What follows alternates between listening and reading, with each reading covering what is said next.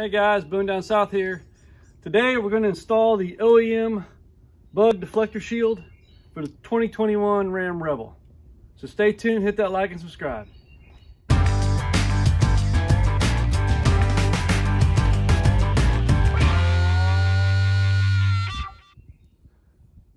All right, already gone through the instructions. They're kind of eh, iffy.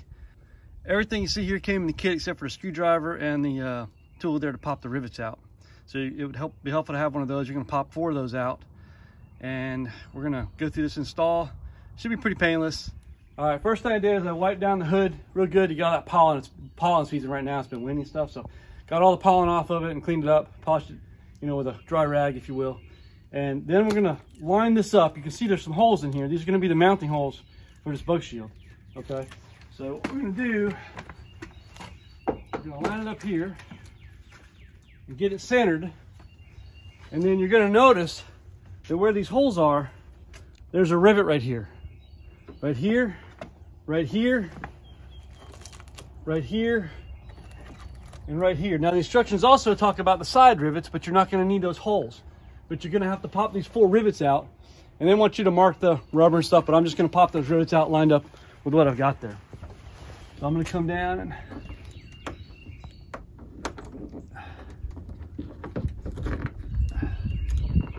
there we go. And if it breaks like that one did, it's not gonna matter. You're not gonna reuse it. You're just gonna reuse the holes and uh, they're probably all gonna break like that. So not to worry though, because we're gonna use those holes. All right, they give you an alcohol wipe and you're gonna use that to clean each one of these spots where the rivets are out, the top of the hood, and just underneath the hood right down here. You're gonna get that real clean because you're gonna put a piece of adhesive on here, which is gonna protect the metal brackets from rubbing your paint. So it's the four rivets that I popped, plus right where the outside rivet is as well. Right here's where you're gonna put, put another piece of tape. So we're just gonna use alcohol wipe to uh, make sure it's real clean there. And it's a tiny alcohol wipe too clean that up and clean under here. We're gonna hear that tape right on the underside and on the top side. Here's the other spot we pulled the rivet out. Clean that real good. And then down here real good as well. Geez, that plane looks awful low. Look how low that plane is. Look at that. Probably can't tell on the camera, but golly, that's low, isn't it? Yeah. All right, so where we've cleaned up right here, the wipes, so we've got this 3M tape. What they want you to do is line it up with where the hole's at. That's where you can put the bracket on. And they want you to tape it over with about two thirds on top of the hood and one third under the hood. So we're gonna do that next for all six locations where the brackets are gonna go. All right, so when I look at this, I'm gonna line it up where the hole is, one third underneath, two thirds above. I'm gonna get that seated in there. Gonna wrap it around.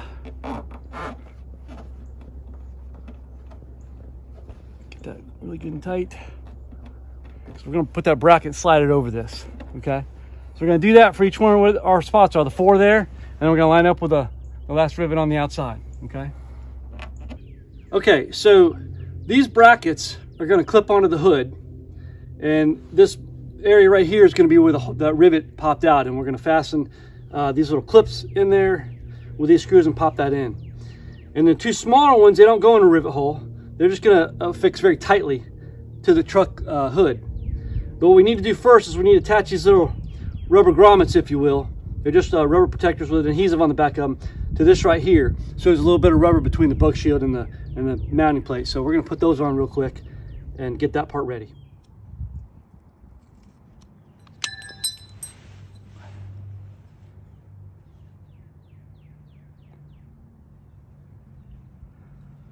Yeah. So we're just gonna do that to all these and get these ready to go. Okay. Okay, so there's the hole where the rivet came out. And you can see the hole in the through the hood there. And that's where our tape's at. So we're gonna take our piece right here. We're gonna slide it into place. So it's sitting on the hood there. And you got our hole in here. Okay. Then we're gonna take the little clip it gave us. We're gonna take the clip, come back here, put it in the hole. All right, so now you're gonna take these screws, the one with a sharp point, not the flat point, but there, there should be um, there should be four of these, okay, that you wanna use. And you wanna get in that slot there. And you're gonna need a Phillips head screwdriver. I don't drop this screw. And you're gonna thread that in there. Now, you see that clip starting to turn. We don't want that to happen. So I'm gonna have to get something to hold that clip back. So I just got started I'm gonna take my clip and try to hold that in place to keep from turning while I thread this in.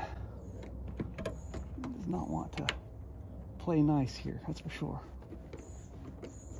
Holding my finger right now. It's starting to go okay now. It's better. Yeah, you can hold it with your fingers. So you don't need a clip.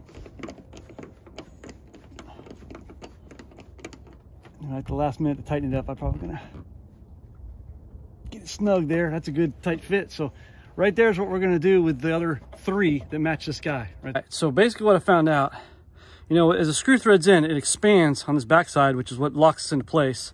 And this is the clip that goes in that square. But I got to the point where it was so hard to screw this in, it would stop and it would just start twisting this. And no matter what I put up there to try to stop this from spinning, I couldn't use enough force. So I actually pulled it out, threaded the screw in a good bit to open that up, pulled the screw back out, then squashed this back together, and then popped it, and then the screw went in a lot easier. So that's what I'm gonna do here as well. Now I'm gonna pull back out, pinch that together a little bit, and then it should pop in and go in easier this time. Just a little bit more here. Just a little bit. And this should go a little easier.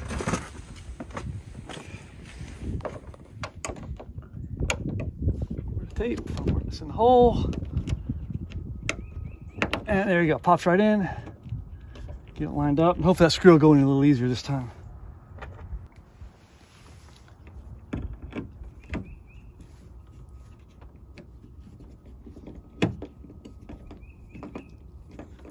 And yeah, my finger's able to hold it from slipping. It's wanting to slip as I turn, but my finger's able to hold it at least this time.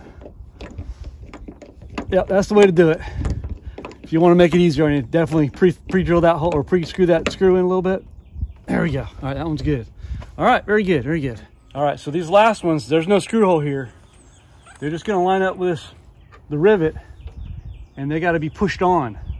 But if you kind of come in close, kind of see what the effort it's going to take to get that over here, okay?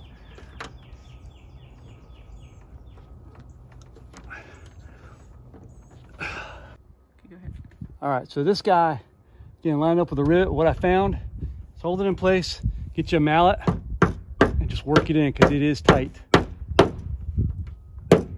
right, that's good. That's all the way in. All right, now that we have all the brackets in place, it's time to put the bug deflector shield on. What we're gonna do is see our holes in there. We're gonna go ahead and, I can't hold the hood and do this at the same time. You got it? Yeah. Okay. We got it lined up in there. These are the screws you wanna use for this. Go ahead and get that in there.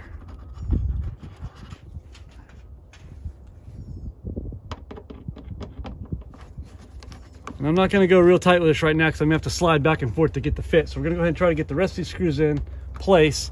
And we might have to adjust this outside one in or out. And this, unfortunately, that's the hardest one. So we're going to get this screwed in. Okay, the one challenge was with this last guy here, he's the tightest one to get on. Okay, I mallet to get that on. But once we got it all lined up, I had to move this and uh, had to adjust this thing and get it lined up. So just FYI, you may have to pop this off and get it adjusted for you. So just something to keep in mind. Okay, hood's on. You got these rubber bumpers. And underneath here, if you kind of, I don't know if you can see or not, under here, there's a yellow sticker in here. And that yellow sticker is where they want you to put the bumper. They want you to mount it right like this on the hood. And there's some 3M tape in here, so wipe the hood, pull it back, put it in place, and that's just to keep this from vibrating. Now, I have seen some guys mount this like this instead. Now, their thought was if I have to take this off, I don't want these things left on the truck. But what I'm worried about is if I mount it this way, you're gonna have vibration from the wind over time, and I think you're just gonna eat the paint right off. So I think I'd rather gamble putting it on here and having to take a heat gun and see if I can pop this off uh, versus putting it on the hood. So I'm just gonna go with what the instructions say, mount this on the hood. All right, there you go. We got the OEM bug deflector shield all set in place. It's matte black, matches the, the finish on this uh, Ram that I've got here. So I think it looks good. You kind of see on the back side here where we got the bumpers down there to help with it. I don't know if you see it's pretty dark here with the lighting that we've got, but overall it's good. Happy with it. All right, guys, got it all done. It's about a 45 minute project, I guess. A couple challenges. One is these guys are really tight on here. Get a mallet to tap those in. That's going to help a lot. The other thing is pre-thread those little clips that go into these brackets here.